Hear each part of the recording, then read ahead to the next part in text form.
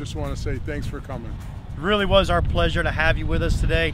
Hope that you were blessed at church, and we would love to see you again. God bless you.